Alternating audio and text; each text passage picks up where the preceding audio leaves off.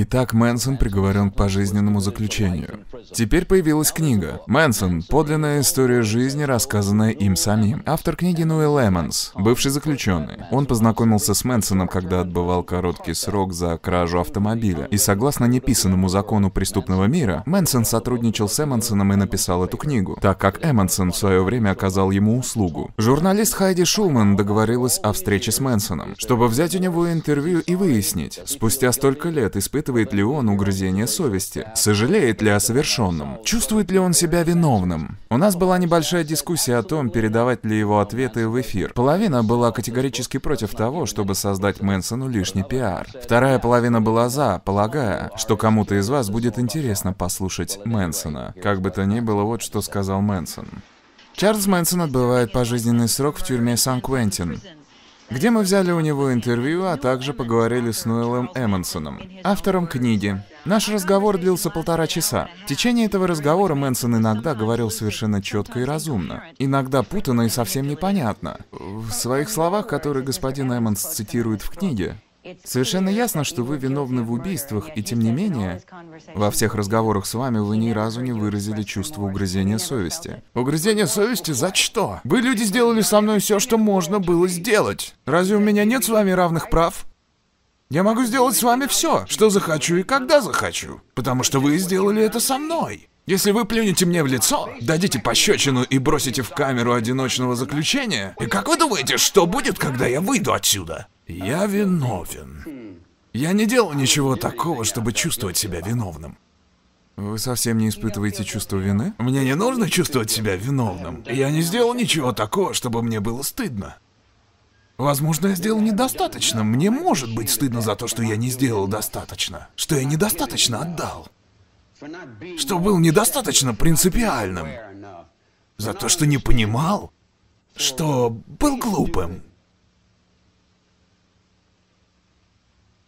Возможно, мне надо было убить 400-500 человек. Тогда бы я чувствовал себя лучше. Тогда бы я чувствовал, что я действительно смог предложить миру кое-что. Знаете, если бы я хотел кого-то убить, я бы взял эту книгу и сбил вас до смерти и ничего бы не почувствовал.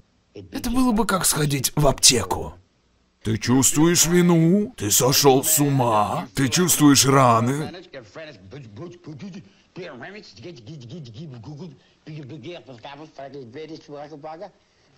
Ноэл Эммонс, бывший заключенный, который познакомился впервые с Мэнсоном в 50-х. Он утверждал, что эта книга — результат беседы с Мэнсоном в течение семи лет. И он хочет показать, что Мэнсон не лидер, не гуру, а просто неудачник. Почему эту книгу стоит прочитать? Моя главная цель, когда я только начал работать над этой книгой, было желание разрушить миф. Я хотел показать, что он не такая сложная личность, что он не культовый лидер и так далее, как про него говорили. Я не вписываюсь в общество. Я не способен к жизни в обществе. Нет, нет, так и есть. И нет ничего плохого, чтобы быть неспособным.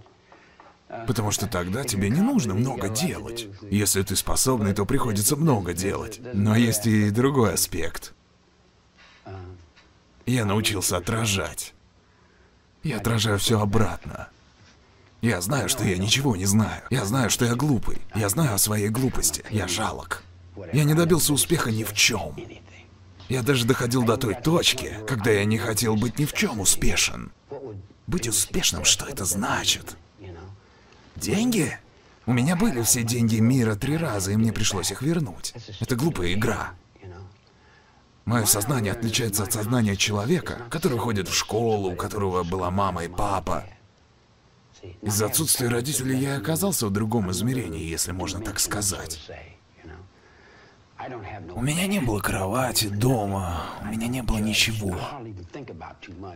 Мне трудно запомнить, что было на завтрак. И на самом деле, если бы у меня были две-три девушки, которые мне помогали, я бы потерялся и не знал, что делаю. В книге вы пишете, что ни в одном разговоре с Мэнсоном вы не замечаете у него угрызений совести. А вы видите это сегодня? Он совершенно погружен в себя и в свою правду. Ребят, вы зациклились на том, что я кого-то убил. В вашем мозгу застряла мысль, что я убил кого-то. За что вы называете меня убийцей? Я никого не убивал. Мне не нужно никого убивать. Я думаю про это. Это у меня вот здесь. Кто этот мужчина, с которым вы разговаривали на протяжении семи лет? Для меня он заключенный, который потерпел неудачу. То есть он человек, который не способен. Я действительно так считаю. Начать ощущать землю и что-то в этом роде. Я имею в виду, что были наркотики, которые все инициировали. Потом чернокожий парень. Смерть Гарри Хэнмана. И снова это было связано с наркотиками. Отсюда все пошло. То есть не было никакого духовного подтекста. Это просто была группа людей. Дети, которые жили сами по себе. Это было время вечеринок и игр. Из-за наркотиков игры стали серьезнее. И первое, что случилось, это убийство. Всю свою жизнь я грабил продуктовые магазины, продавал всякую мелочевку, укрывал несколько автомобилей и обналичил пару чеков. Я мелкий воришка. Я общался с проститутками, бездомными алкашами всю свою жизнь. Улица — это мой дом. Я не претендую на то, чтобы появиться в дорогом районе и выглядеть прилично. Я могу это сделать. Но тот мир, где живу я, я нахожу намного более реальным. И реальный мир — это тот мир, к которому я каждый день имею отношение.